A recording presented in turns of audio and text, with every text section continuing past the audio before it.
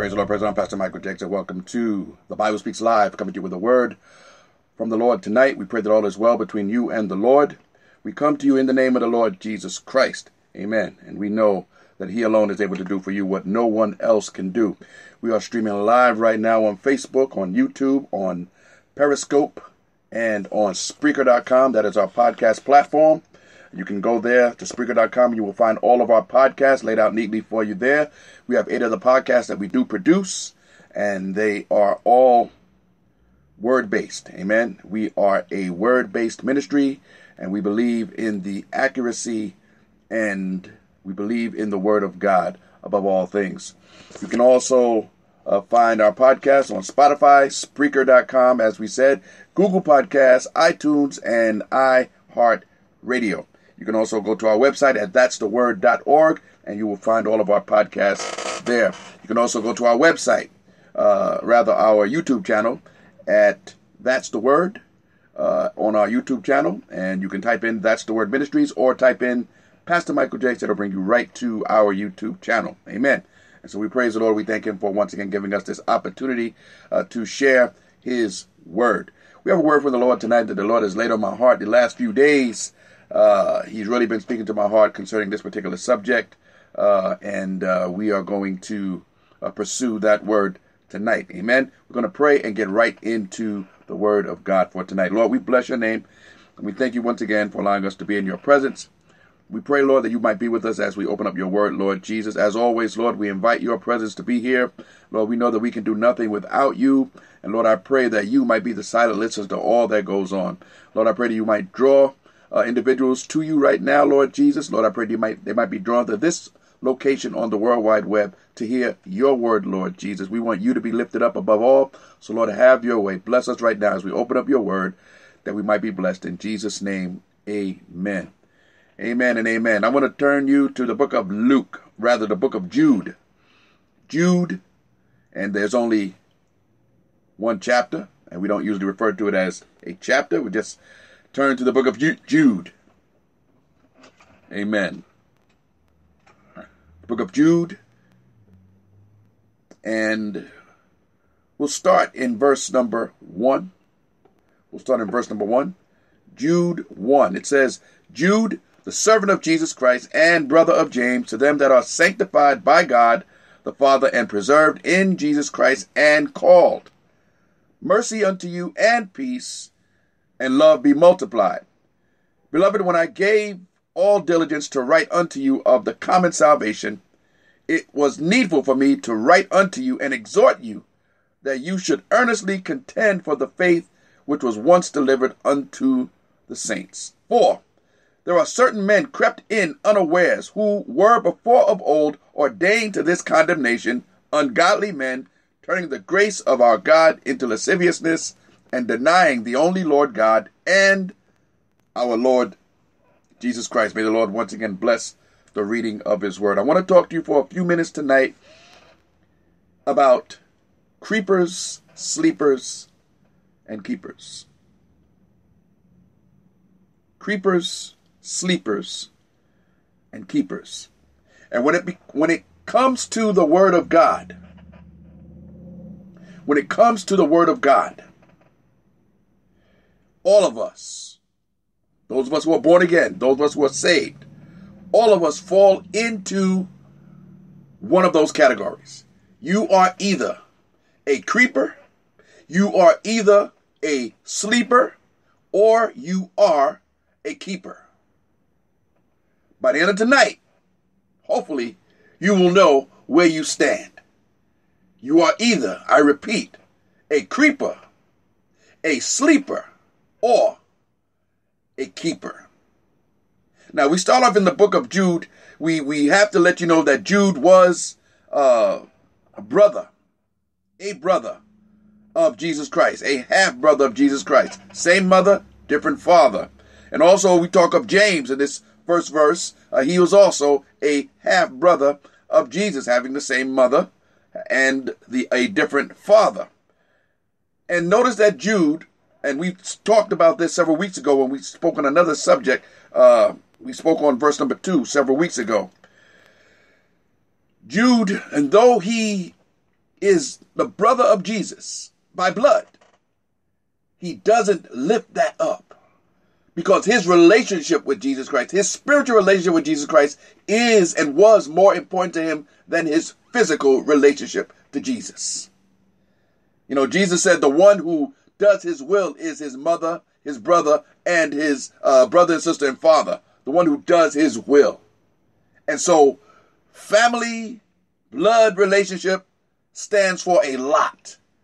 But when you know the Lord, the fact that we have the blood of Jesus in common is much more and is of greater importance. So Jude identifies himself first and foremost as a servant of Jesus Christ and the brother of James. To them that are, and this lets us know who he's speaking to, he says, to them that are sanctified. To them that are sanctified, he says, number one, and those who are preserved. Thirdly, he says, those who are called. Those are three categories that all of us who are born again fit into. We are sanctified, we are preserved, and we are called. And then he gives his remarks about mercy and peace and love be multiplied, not added, but multiplied to us. Now, when we get into verse number three, still, obviously, he's talking to those who are born again.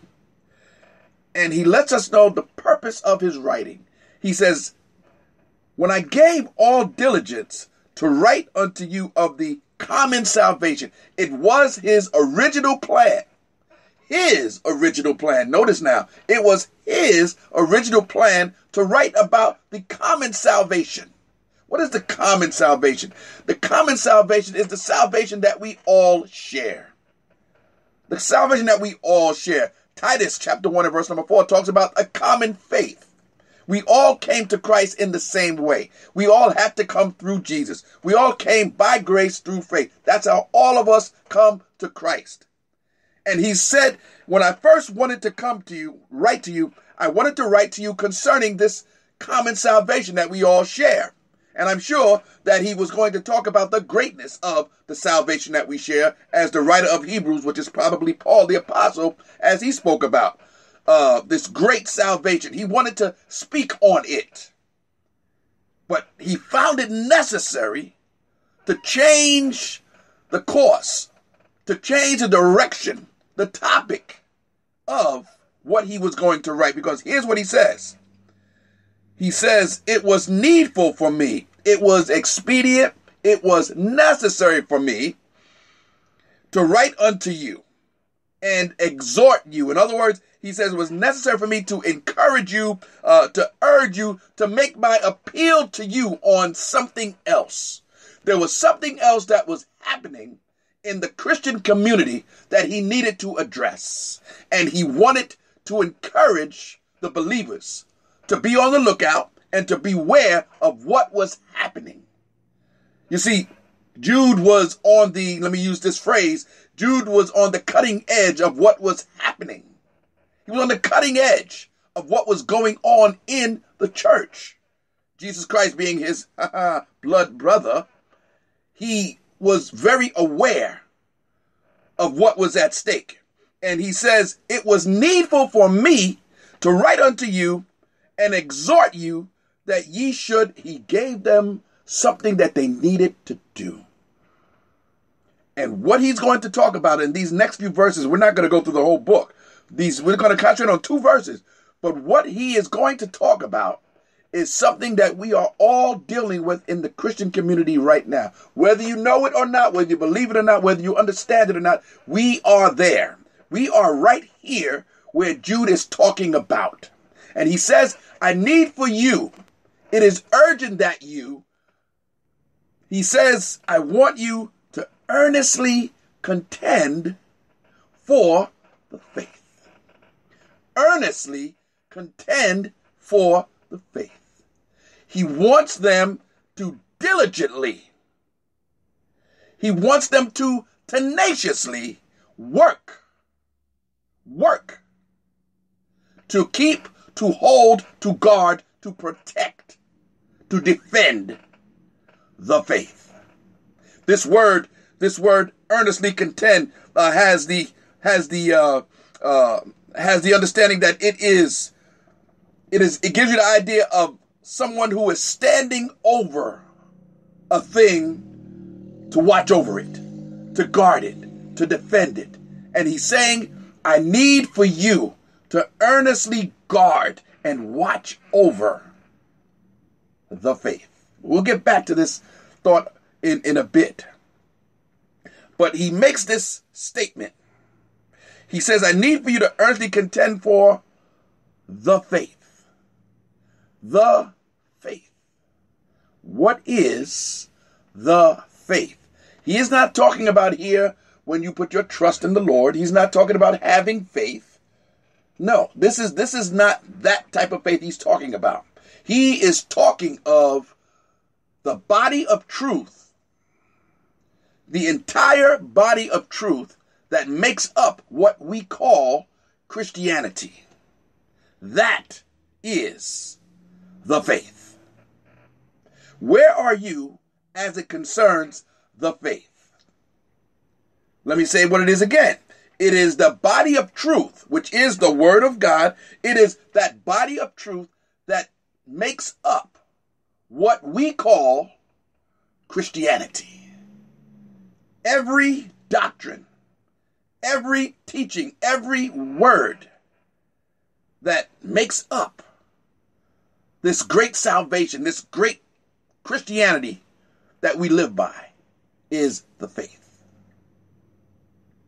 How do you view the faith? Do you contend for the faith?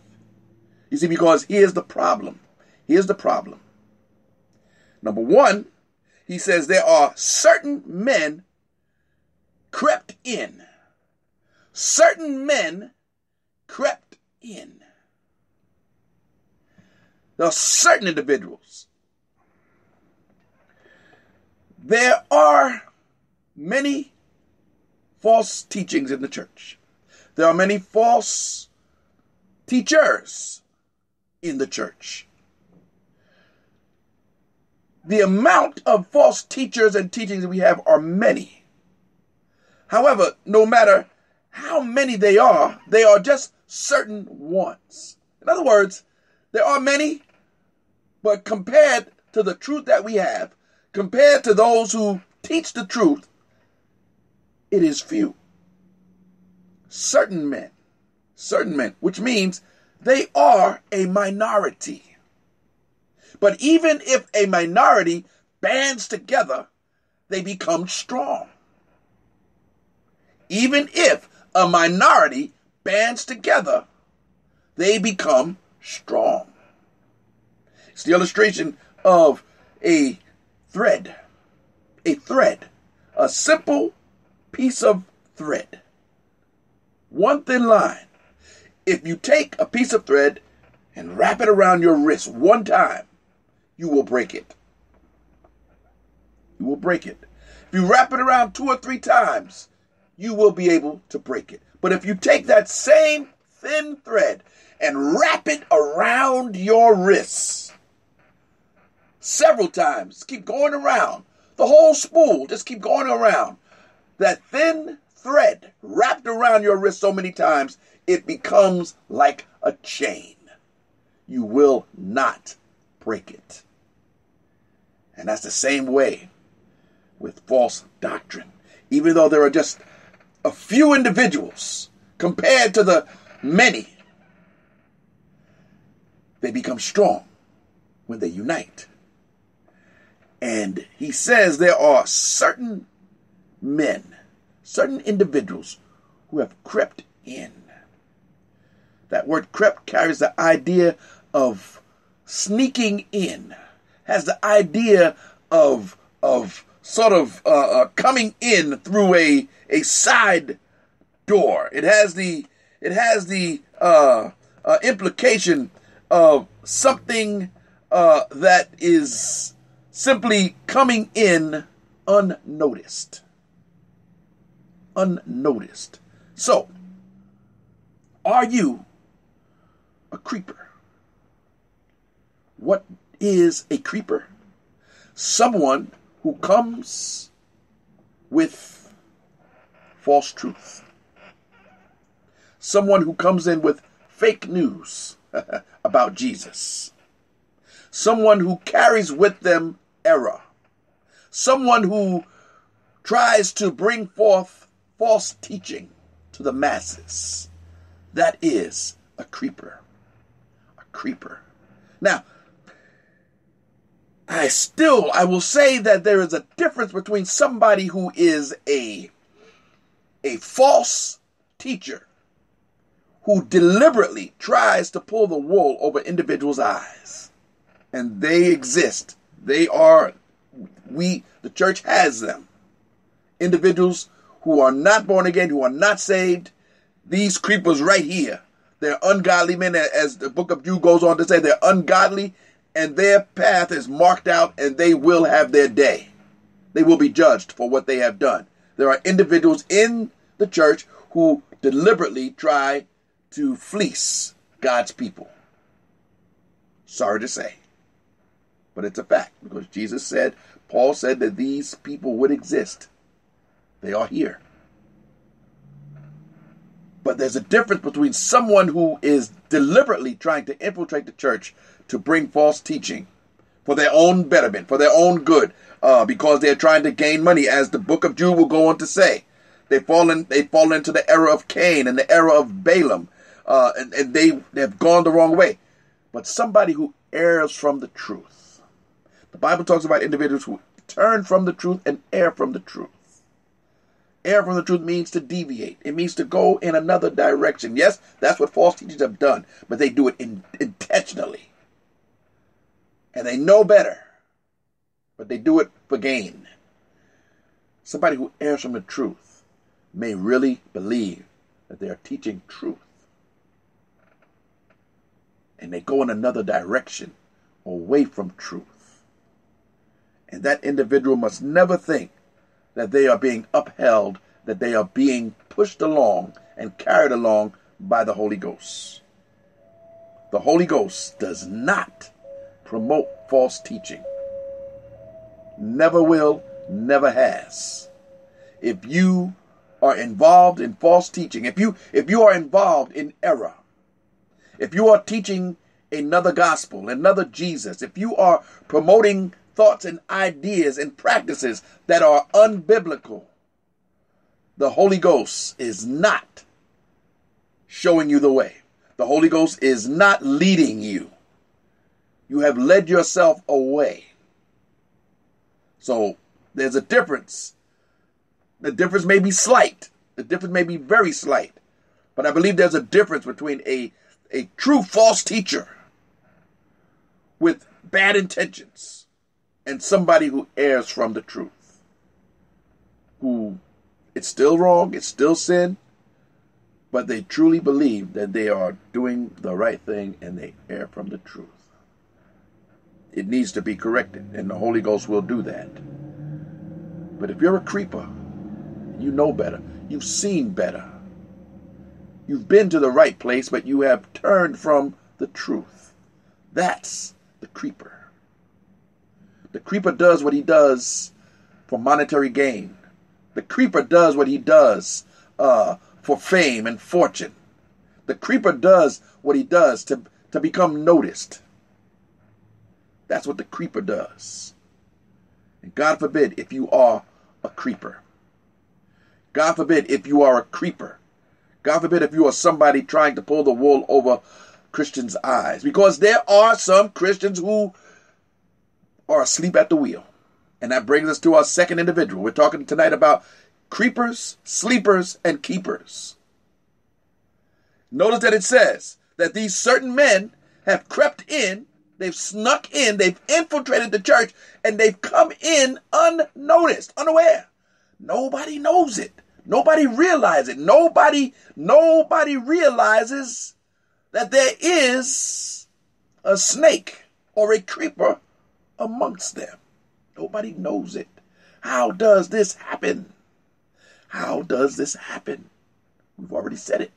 Because Christians are asleep. They are asleep. Where are they asleep? They're asleep at the word.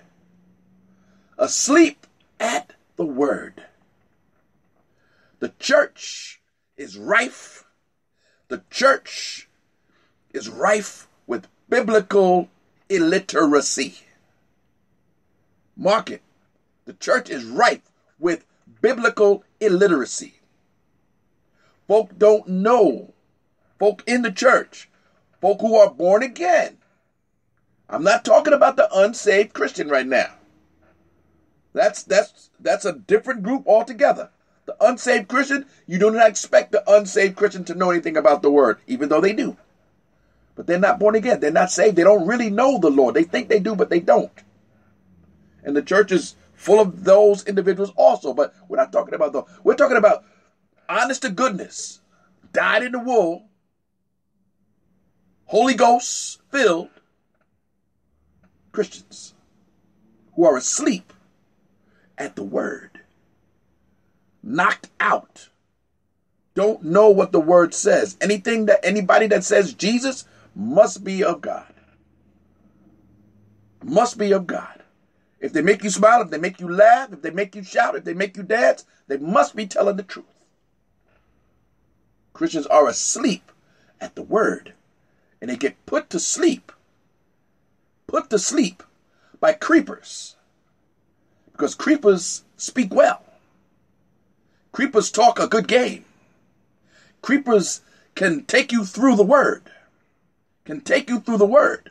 A, B, C, and D. They can take you through the word and have you applauding and have you saying amen and have you shouting and have you dancing. And then they lower the boom and start telling you things that are not true. But you've already gotten so deep in with them and their message that you accept everything they say. It happens. I've seen it. I know it happens. Don't be a sleeper. Don't sleep at the word. Be aware.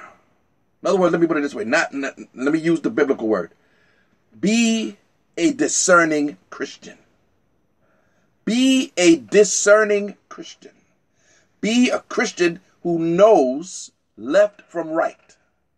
Be a Christian that knows up from down. Be a Christian that knows right from wrong. Be a Christian that knows truth from error. The only way that you are going to become a discerning Christian is through the careful study of the Word of God. And this, unfortunately, is not something that everyone wants to do. We're happy with let's we're happy with just allowing the pastor to speak to us, and we take him at his word because he's the pastor and he knows what he's talking about, and I'll take his word for it. And we go on our way. Not realizing sometimes, not all the time, of course not, but not realize not realizing that sometimes we've been fed a bill of goods that are that is not biblical, not scriptural. Have to be careful. You have to be careful who you allow to speak into your life. You must be careful as to who you allow to speak into your life. There are charlatans that exist and they want to pull you in. You have to be wiser. You have to be more intelligent. You have to be more discerning than that. And the only way that you will find discernment to be built up in your life is by the level of the Word of God that you intake into your life. That's how your discernment is built up. Become a student of the word. I didn't say become a Bible scholar. I didn't say go and get your PhD and doctorate in, in, in biblical. St- no, you don't have to do all that. Read the word for yourself. Ask the Lord to show you truth. Show you the truth. That's it. Lord, teach me your way. Show me your word. Open up your word. Every time you open up the word of God, Lord, open up your word to me. Help me to see. Help me to know. Help me to understand. That's your prayer as you open up the Word of God. Don't just read to read. Don't just read because it's expected of you. Don't just read the Word of God because it's what you should do and what you're supposed to do. Don't read the Word for those reasons. I'm not saying you won't be blessed, but don't read just for those reasons. Read the book of Psalms, Psalm chapter 1, uh, Psalm 119, and read the love that David had for the Word. He loved the Word of God. He did not sleep on it. No. He says, Thy word is a lamp to my feet and a light to my path. He said, Thy word have I hid in my heart that I might not sin against you. He said, Your word is sweeter also than honey and a honeycomb. He loved the word of God. And he would not dare sleep on it. Now understand what we mean by sleeping on it. We mean not being aware, not being careful. Not being careful. Read it to understand it. You can read, you can read as devotion. Lord, speak to my heart. But then you can read, Lord, show me what this means. Everything in the Bible has a purpose. Every single line, every single word has a meaning and a purpose. Even even the book of Numbers has a purpose. Even the book of Leviticus, of course, has a purpose. Even those books where you say, What is the meaning of this? These different names, these different locations, these different numbers. What does it mean? It all ties together. It all has a purpose. Lord, show me your word. Show me your word. Don't be a sleeper at the word. So you have creepers, those who bring a bad word into the house of God, those who bring a false word, those who bring a lying word into the house of God. Make it appealing to those who listen.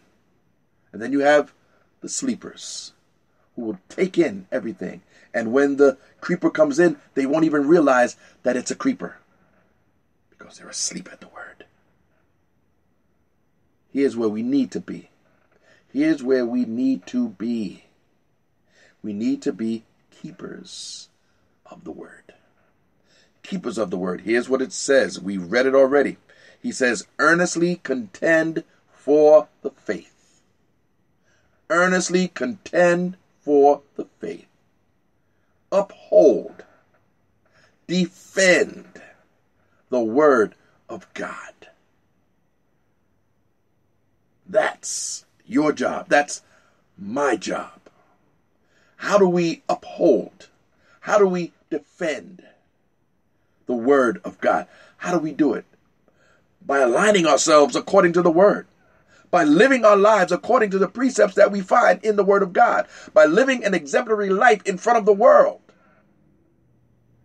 living properly in front of those who are watching us, waiting for us to slip up and mess up and do something wrong. Live the life in front of the world. Of course, you're not going to be perfect. Of course, you're not going to get it right. But show them when you get it wrong. Show them who your Jesus is. Show them that you have a God, that you serve a God of compassion, that you serve a God of mercy, that you serve a God that says, "Great is thy," that says that that, that gives us, a, He's faithful to us. Show the world who Jesus is. Let your life, let your life be a living testimony as to the goodness and graciousness of the Lord. Let your light, let your light so shine before men that they may see your good works and glorify your Father which is in heaven. Let your light, let your life shine. That's how you keep the word. Keep the word. Protect it. Protect the word from all hurt, harm, and danger. Listen, the word of God will last forever. The, listen, there's nothing, there's nothing that can bring down the word of God. Nothing. The word of God is truth, and his truth stands. His truth is eternal. You change, I change, the world changes, the word does not change. just like himself. He does not change. Jesus Christ, who is the Word, Jesus Christ, the same yesterday, today, and forever. We need to keep the Word. Keep the Word. If you're not keeping the Word, if you're not keeping the Word, if you're not upholding the Word by your lifestyle, if you're not defending the Word, uh, defending the truths of the gospel, then you might be sleeping on it you might be sleeping on it. We want to make sure that the world sees who Jesus is. The Word of God will show them who Jesus is. Let us keep the Word. Lord, I don't want to be a creeper. Lord, I definitely don't want to be a sleeper. I want to be a keeper of your Word he says, These certain men have crept in unawares, before of old ordained to this condemnation, ungodly men turning the grace of our God into lasciviousness. There are many who have turned the grace of God into lasciviousness. They've said that they've said that because you are under God's grace that you can live any way you want because our God is gracious. This is a lie from the pit of hell. You cannot and you must not. You must keep the word. A creeper will not, a creeper will not advise you to live the word in that way. We must be honest. We must be honest with ourselves. We must be honest with the Lord. Lord, I don't want to be a creeper. Lord, I don't want to be a sleeper. Lord, I want to be a keeper of your word. A keeper of your word. So, where are you tonight? Where do you stand? Are you a creeper, sleeper, or keeper? Let's pray. Lord, we bless your name. We bless your name tonight, Lord Jesus. Lord, we pray that we are found in your kingdom as keepers of your word, Lord Jesus. Lord, we don't want any word, we don't want not one word to, to slip. Lord, we want to obey. We want to follow. We want to align yourself, align ourselves, Lord Jesus, with your word, Lord Jesus. This is the only way that we want to live, Lord Jesus. So, Lord, have your way. Lord, we don't want to be sleepers. Lord, we don't, we don't want to be sleep, asleep at the word, Lord Jesus. Lord, we want to stand firm and let nothing move us, Lord Jesus. Lord, we definitely do not want to be creepers, Lord Jesus. Lord, we don't want to be purveyors of non-truth. Lord, we don't want to uh, we don't want to bring a uh, uh, a false teaching into God's house and God's people, because surely we will be held accountable. Lord, we want to spread your word in truth, Lord Jesus. Lord, we want to give your people the knowledge of the truth as we spread your word. Uh, help us to be ever so careful uh, to give your word and not our own. Lord Jesus, have your way. Bless us, Lord. Anyone out who is not saved tonight, Lord Jesus, who does not know you, Lord, I pray that you will draw them unto yourself, Lord Jesus. Lord, have your way. Speak, Lord Jesus, as only you can speak, Lord Jesus. Lord, let this word, I pray, permeate every heart and every soul that hears this word on this night, Lord Jesus. Lord, have your way. There are many who are listening and watching uh, at different locations around uh, the world, Lord Jesus. Lord, I pray that this word might be opened up to them in a very special way, Lord Jesus. Lord, we want to be keepers of your word. Lord, have your way. Bless us right now in Jesus' name. Amen and amen. We bless the name of the Lord. We thank him. Uh, we thank him so much uh, for the opportunities that he gives us uh, to speak and to preach and to teach his word. It, it is it is an opportunity, and we do not we do not take it lightly. We do not take it lightly uh, this this responsibility of carrying forth His word. It is an honor and it is an awesome uh, responsibility. Amen. And we pray that you will continue to pray for us. Pray for us as we continue to spread the word of the cross, the word of the cross that everyone needs to hear. You can hear all of our podcasts once again over Spreaker.com. That is our podcast platform. Uh, you will see eight other podcasts. You just go to Spreaker.com and type in Pastor Michael Jakes, and that'll bring you to our page, and you will find all of our podcasts, and you will find them, and and I pray that you'll be blessed as you listen. You can also go to our website at that'stheword.org. You will find all of our podcasts, and don't forget about our blog. You'll find our blog there also, and you can also go to our YouTube channel. Type in That's the Word Ministries or Pastor Michael Jakes, and that'll bring you right to our YouTube channel. Amen.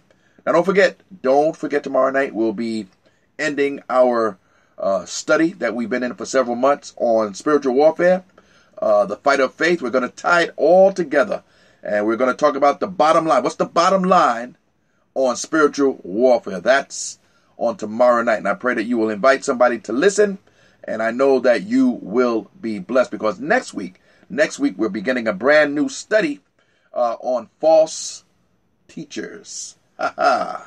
False teachers. We're going to go right back at it once again in our Bible study. Amen. It's a very, once again, it's a very hot topic, very much a hot topic. Uh, and uh, we're going to hear some things and learn some things, maybe some things you've never heard, maybe some things you di- didn't know. Uh, but uh, we'll name some names and we'll we'll talk about it and and we'll pray that the Lord will be with us as we speak. Amen. I'm Pastor Michael Jakes. Thank you once again for watching. Thank you for joining us. Once again, you can go to Spreaker.com and let's do all of our podcasts again. And don't forget to go to our YouTube channel. That's the Word Ministries. I know that you will be blessed. This is me. That's you. Take care. We'll see you next time. May God bless you.